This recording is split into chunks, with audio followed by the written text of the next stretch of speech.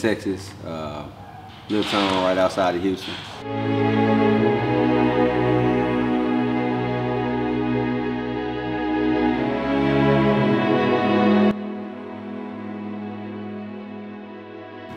being raised in Beaumont, Texas, we grew up fighting. Um, no one had perfect lifestyles. Uh, we all kind of came from a poverty-stricken area. Uh, you really just had to get it how you live. As a kid, since a young boy, I've been fighting. My dad boxed, uh, amateur. Uh, me, me personally, I was just a hard-headed kid. Growing up, Anthony was I would say, a problem child. He got into a lot of trouble. He going to elementary school, going to high school, going to neighborhood. He was very argumentative and very had a very bad fighting uh, spirit. And on the other hand, he was very protective.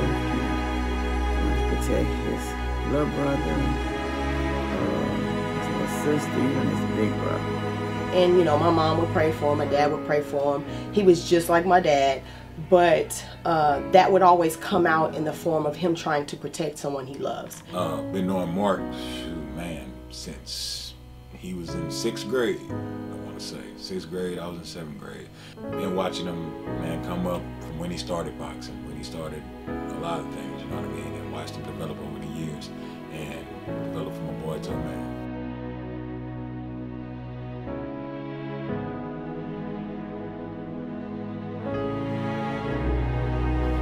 for starters, he was a little hot know,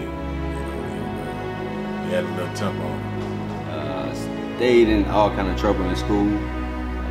And one day, after, well, after a bunch of fights, I got moved to another school, uh, and I had this one particular fight with a guy and his parents pressed charges on me.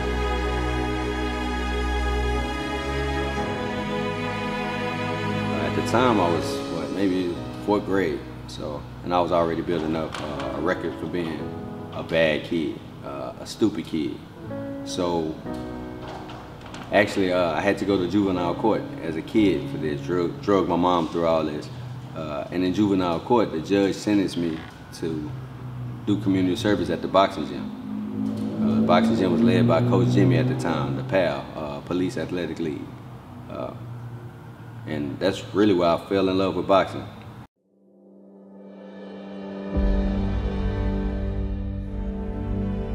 I was happy to see him start boxing because it, it helped channel that energy to a better place.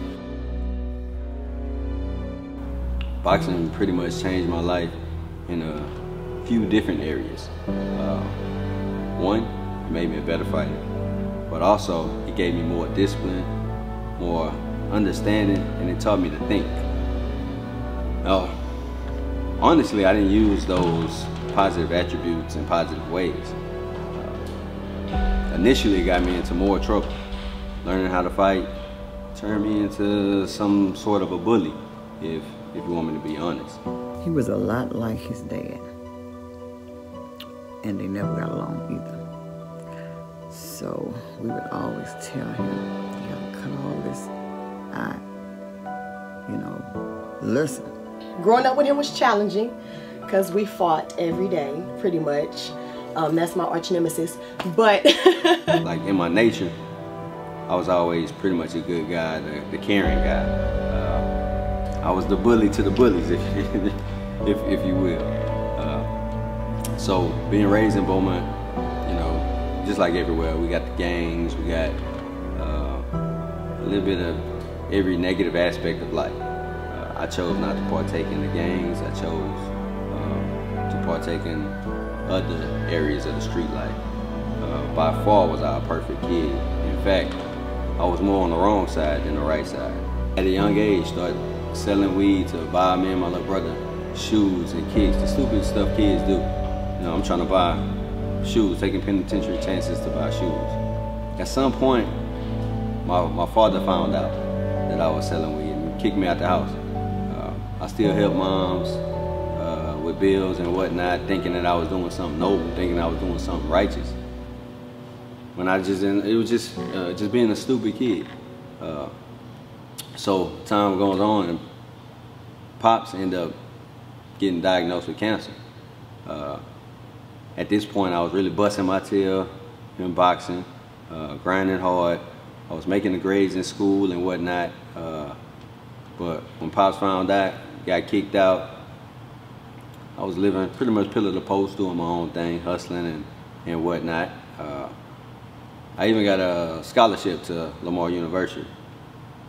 But instead of taking that scholarship to Lamar University, being the rebellious kid or the rebellious person that I was, I chose to go to the Army.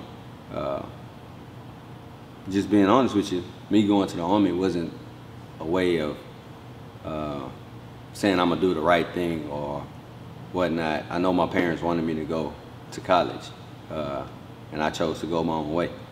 So I felt the Army would give me the the finances uh, and the you know just be become even more independent to do my own thing. So of course I rebelled and went to the army uh, and became a leader in the army, a platoon leader. Uh, and the army really showed me uh, a lot about myself.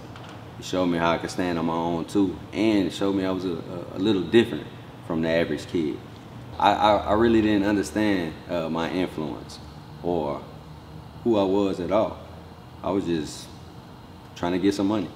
Uh, but in the army, uh, with everybody getting an equal amount of money at that time, and people looking to me for help, for help, people coming to me for help, it did make me reflect on the times in the street when everyone came to me for everything. Uh, not that I was better than anybody, but for some reason, people just came to me for whatever reason outside of boxing in the military and not having to go to work, I started my own like mobile detailing uh, for the sergeants and whatnot. Uh, so I would really just drive around. You know, y'all see the mobile detailing now. Uh, I had never seen it at that time, but I seen there was a need, seen there was a problem. I found a solution, and I got paid for it. So I started my fitness journey as well in the military. I became a master fitness trainer in the military and started uh, really just helping the guys that couldn't make the PT test, helping guys lose weight, um, and just get better uh, physically. Uh, I guess I just always been a natural motivator or encourager. At this time, you know, mom and dad was pretty much doing all right. So, hey, I was cool to go ahead and get out. Got out the military and thinking everything was gonna be sweet. I was just gonna go home, become this professional boxer and everything was gonna be cool. But coming from the military, I couldn't really find a job or this or that. So, uh, you know, I went back to what I knew. So after the army, uh, going back into society, uh,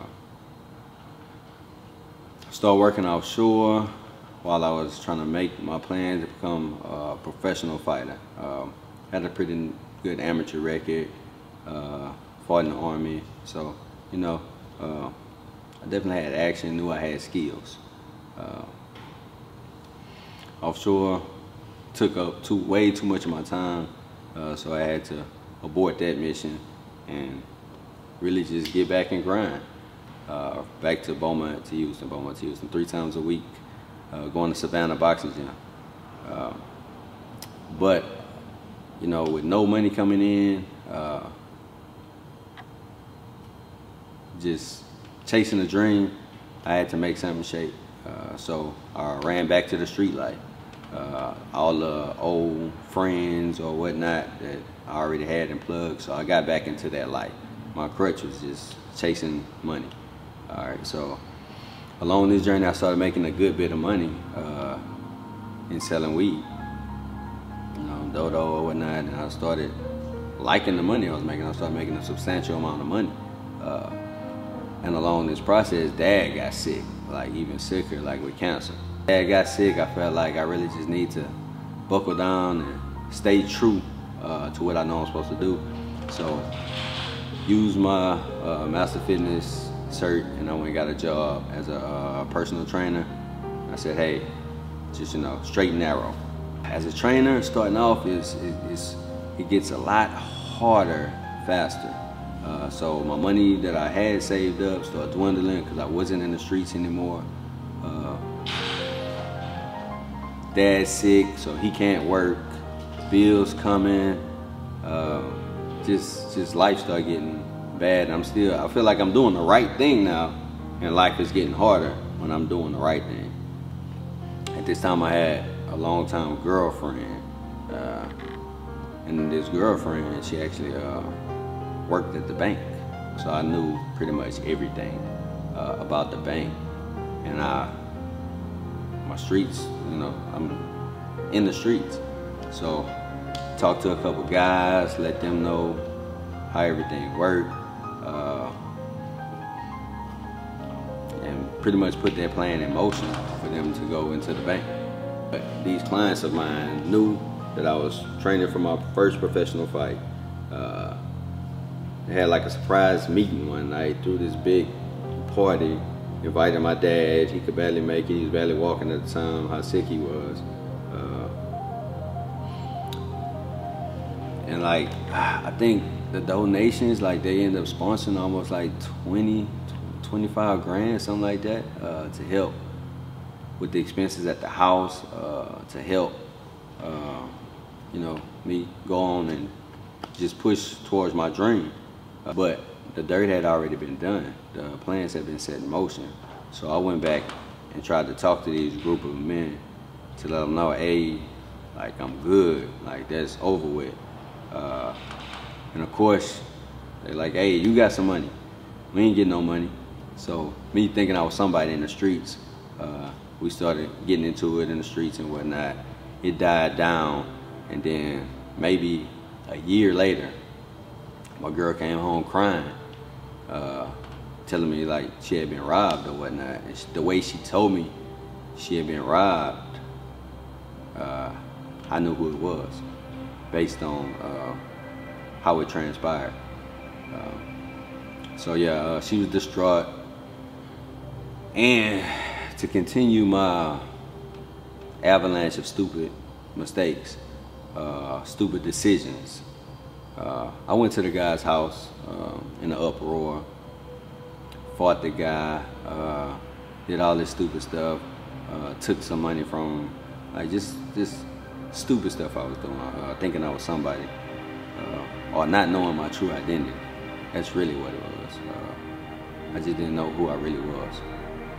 Uh, yeah, I was that guy doing all this stupid stuff that you see on the news every day. Uh, push came to shove, and it, it, it died out. Uh, I guess just because I had a bigger bigger reputation or whatnot in that field. Uh, so it, it, died out. Me and the guy, I thought we had reconciled. Six months to a year after that, uh, I found out the guy uh, pretty much went to the cops because he got in trouble for something. To get out of his trouble, he went to the cops and told them that I robbed the bank. Uh, of course, it wasn't true, but at the same time, I did have my part to play in it. This played out in the courts and whatnot. Uh, the lawyers my lawyers that I paid for ended up finding out that I didn't rob the bank at the time that the bank robbery occurred. The lawyers actually have me in my probation officer's, officer's office uh, because I was that stupid kid that was always getting into fights. So I was on probation for getting into a fight. Uh, and the exact time the bank robbery occurred, uh, I was in the probation officer's office. So uh, the lawyers, everybody thought this was not gonna go anywhere. I was in fact still getting, I had started prepping, getting ready for my first professional fight again because the lawyers told me everything was gonna be okay. Uh, and still, dad's health was still declining. Uh, so it actually fixed nothing. But I had this money, this money now that was given to me by my clients, I had to use that to actually try to fix my mistakes, and that's the money that I had to pay to the lawyer. Trial goes on for 12 days, and I get 121 months in federal prison. 10 years federal prison. You gotta listen, learn to listen to somebody. And if you don't, the good Lord gonna sit you down and make you be still until you do. And it just so happened, that's what happened. Having dreams of hundred dollar handshakes and million dollar meals. I was sleeping on them snitches. But you know, I kept it real. But to a sleeper comes a dream, which could have been reality. But slippers come, my dude. Yes, I was just a casualty. Still a soldier nonetheless. In my heart, I know I'm blessed. But I'm from the school of hard knocks. My prison sentence, another test. Yet I'm an honor roll that's on the road. Stand up and bang with the best. Cause ain't no love live there behind them cold steel walls. Any respect you get, gotta be earned. All you got is your word and your balls. See, there's scavengers praying for falls. Short dudes trying to stand tall. Young dudes that got all day. While Christians preach and pray for a better way. But see, that's just a few faces. I didn't even speak on the racist races, the misplaced hate and the unjust cases. See, now it's real and it's unfair. I can't tell you where to go, but you better get there. My prison stint absolutely changed my life. Uh, this is a whole whole segment of my life. Uh, I met some really good people. I met some really bad people, and I was put in a position to do uh, bad things. Uh, but maybe after my first three years in prison, uh, me doing a ton of foolishness, uh, fighting. And without him being around the house, it was just different. I mean, just different. It was lonely, but yet peaceful. And uh, all of the writing the letters and stuff, it was, well, it was rough. I think at one point in time in federal prison, I stayed in the shoe or the hole or uh, whatever you call it for like 11 months. Uh, that's when you stay in a room for 23 hours out of the day. They feed you through a slot. Uh, just based on my actions, uh, my mindset, uh, my lack of understanding. He ended up taken away from us, being locked up. And that was the worst. Everybody missed him.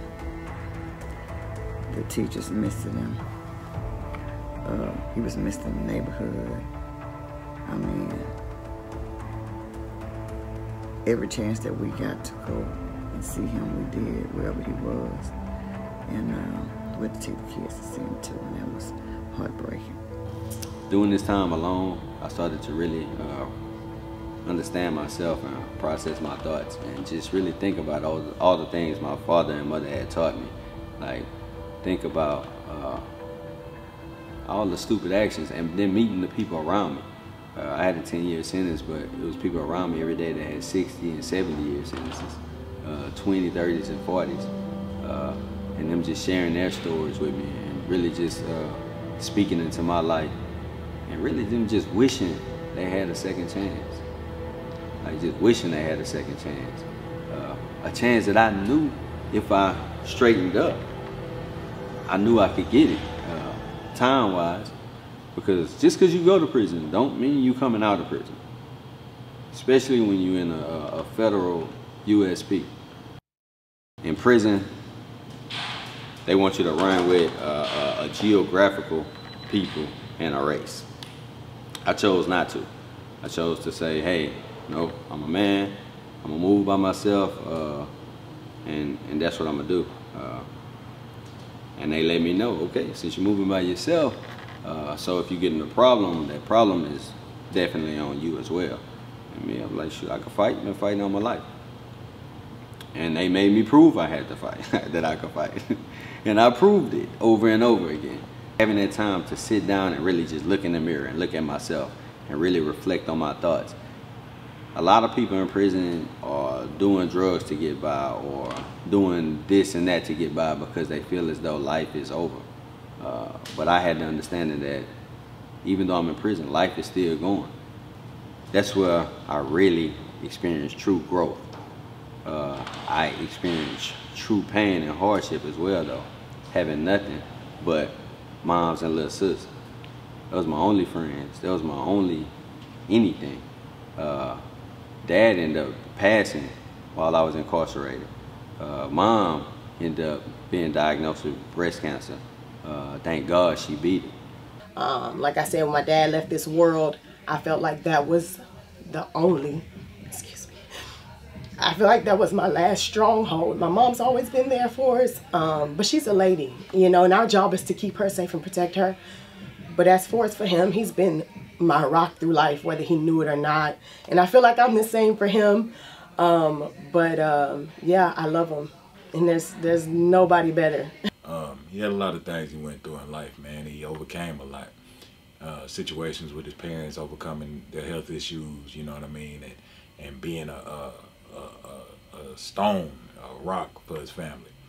And I was determined, determined every step of the way to, once I do get out of prison, those two people that was there for me like that, like they got me.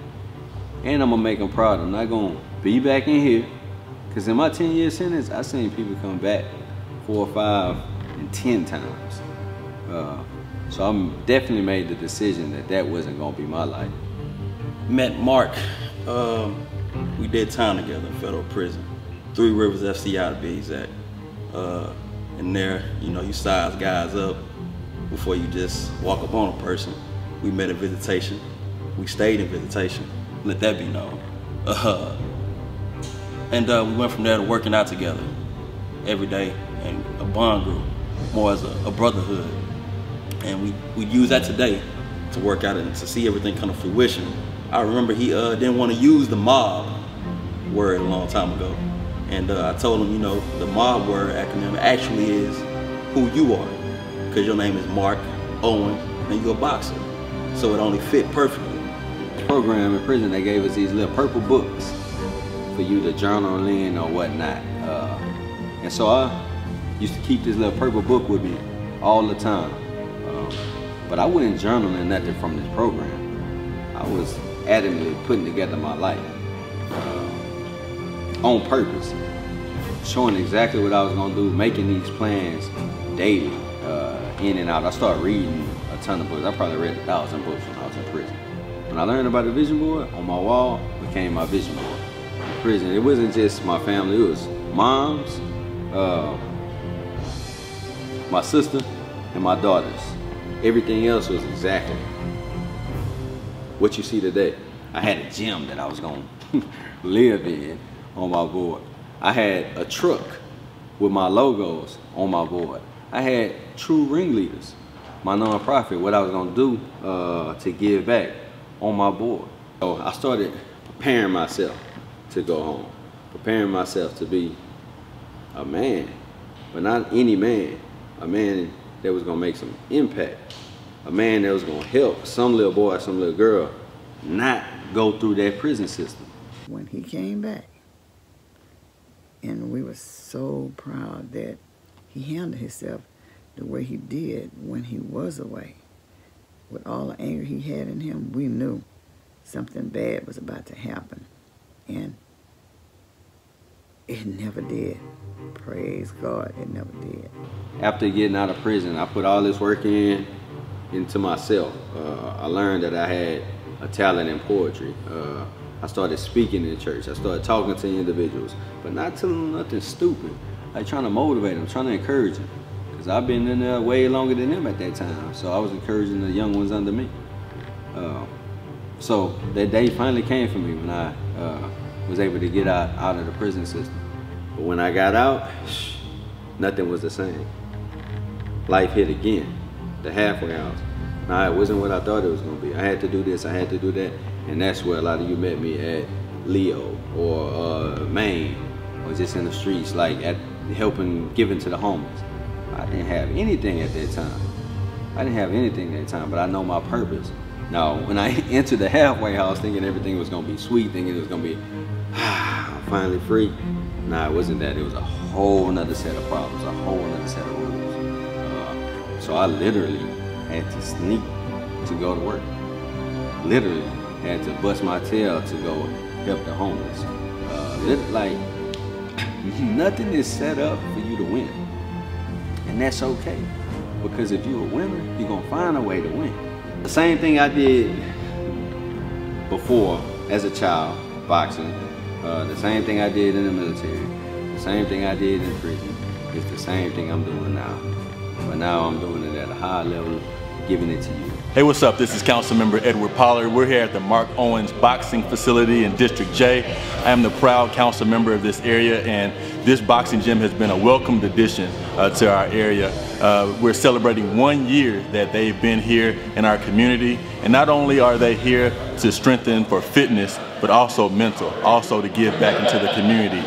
As soon as Mark touched down, he started to get back out into the community, start to talk to different people at the schools, start to do outreach with the kids. And you see them all the time here at the gym, finding ways to stay productive, making sure that they are doing things that keeps them out of the streets. And so we welcome everything that he's been doing in the community. I can tell you his spirit and his energy is high, it's contagious. He even got me here almost every single morning. I'm working out at 6 a.m. He's a great motivator, a great uh, man of faith, and it's great to be here with him today to celebrate one year.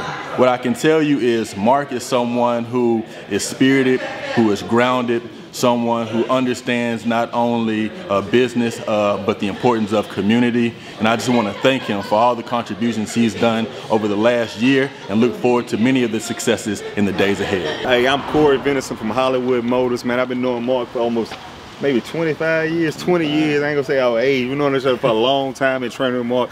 Mark has a good heart. Mark gives back to everybody and do so much for the community. So a token of my love and my respect for Mark Owens and his establishment and all what you got going on, I am giving him a car. He always come to the dealership, look at the car, and I was like, man, I wish I had it, man, I want that. So I'm giving it to him for a token of all the stuff he do for the whole community and just showing love, man. Appreciate my brother for life, man. Appreciate you. All right, I'm swinging. Ace time. Mark Owens Boxing Gym, man. That's where the bosses of the city train at, man. Man, it's such a blessing to come from where I'm from, a little town, Beaumont, Texas, where we love guys like Z-Ro. When Z-Ro, uh, Z-Ro album dropped, everybody on it. It's like when the J's come out, you know. So, uh, Slim Thug, Boss Hogg Outlawz, uh, all these NFL players and stars, you know, uh, comedy, like to come from where I'm from, looking at these guys on TV and then being in a position to actually meet and actually train these guys, get to know these people on the personal level, man, it's, it's, it's crazy. Like, I'm so appreciative. And like, I've met a lot of great men and women in my industry and outside of my industry. All the people I work with, uh, the Prince family. Uh, you know, it's been it's just been an honor, and I appreciate y'all. I appreciate all the support, everything y'all do, and I appreciate y'all coming through, man. Let's just keep building, keep working. Uh, so right now, my why in boxing, I want to take this knowledge and convert it into wisdom for these kids. The wisdom that I've amassed through the sport of boxing, through this journey called life.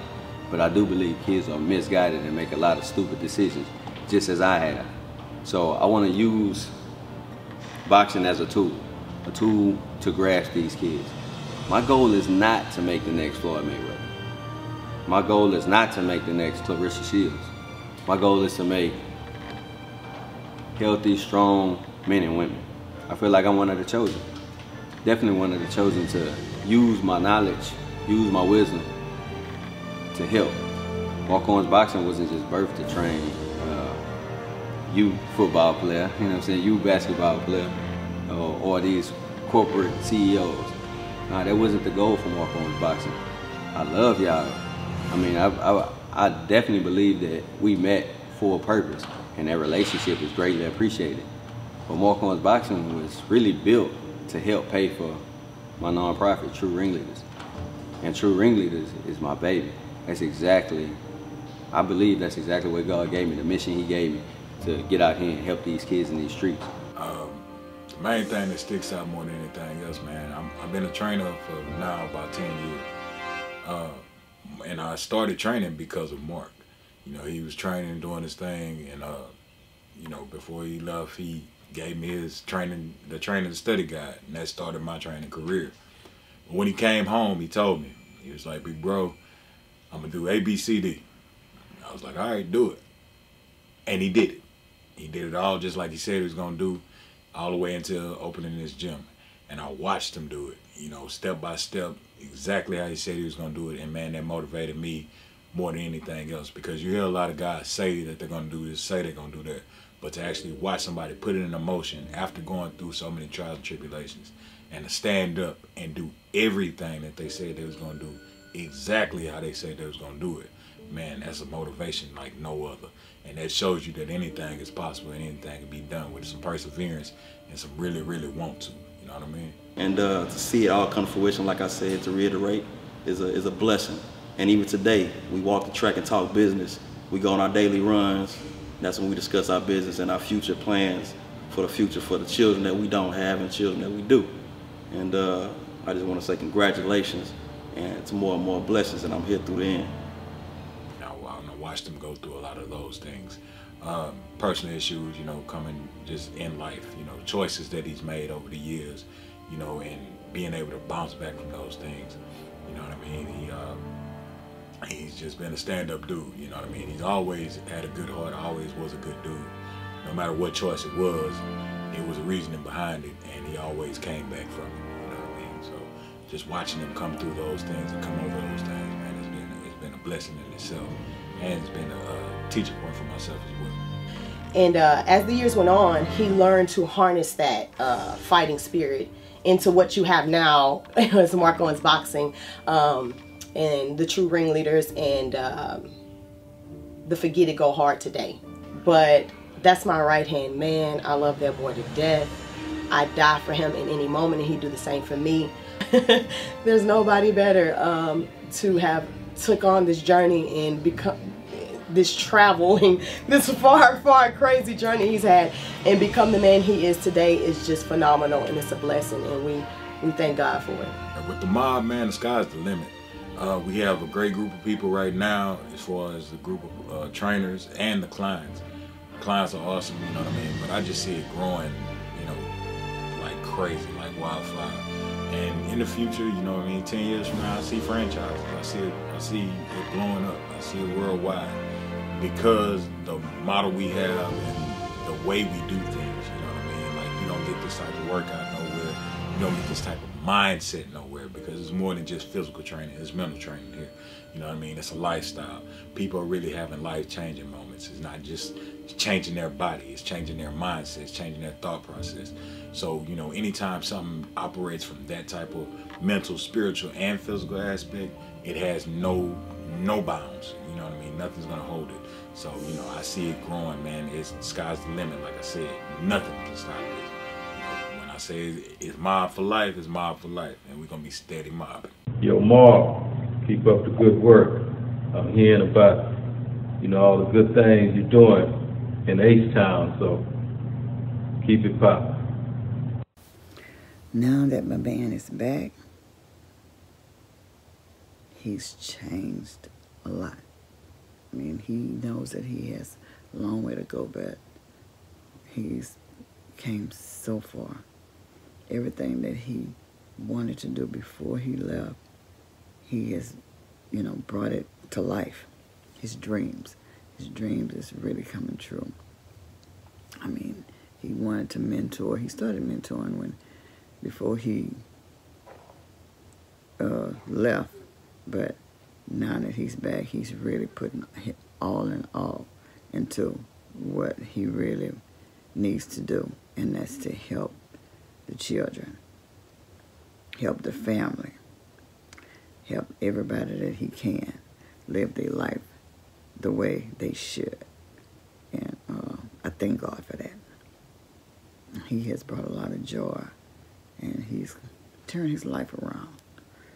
And the struggles that he went through, that we went through, watching him do all of the nonsense stuff that he did, and to look at him now and see that the man that he's growing up to be, to become, it's nothing but God. So I thank you, Anthony, for the life that you are now sharing with your family and the world. Uh, in boxing, it all goes back to boxing. My tool. I learned so much in boxing. Even though I never been knocked out, I know and learn if you get hit hard enough and you fall down, you better not jump right back up. You jump right back up, you're gonna be disoriented and you're gonna make more stupid mistakes, stu more stupid mistakes and you will not be ready. So once you take a hard hit, just like in life, if you go down, cool, cool. But get your bearings, get your stuff in order, and get back up and be prepared. I'm representing for incarcerated cons that religiously run marathons, but not in the name of fitness. He runs daily to visit that which he misses, while trying to block out visions of his ex-best friend sleeping with his ex-missus. This is ridiculous. Because in prison, you don't get the privilege to shed tears to show emotion. You cry on the inside, which drown your heart, leaving no emotion. Hoping on court cases that keep us roller coasting. Praying for better days when our floors are wide open. How are we coping? With dreams of getting out and doing it big. But our dreams are what got us doing the big. We need to change it, rearrange them to that strange life. It's still a struggle and strife, but not the same life. I'm talking about that nine to five, day to day life. That minimum pay, stay out the way life. You might think you lose a lot, but you sustain life. And life is what you make it. That you in prison trying to fake it. Think back to the streets, but you mistaken. Nobody thought you was the man but you. Snickers and snitches didn't knock you on the canvas, dude. You wide awake but in a dream state. Don't try to sell them to me. I got my own to make. Nobody believes you, so now you want to retaliate? You better get your mind out of hell and fly straight. But if not, go ahead and accept your fate. Truth.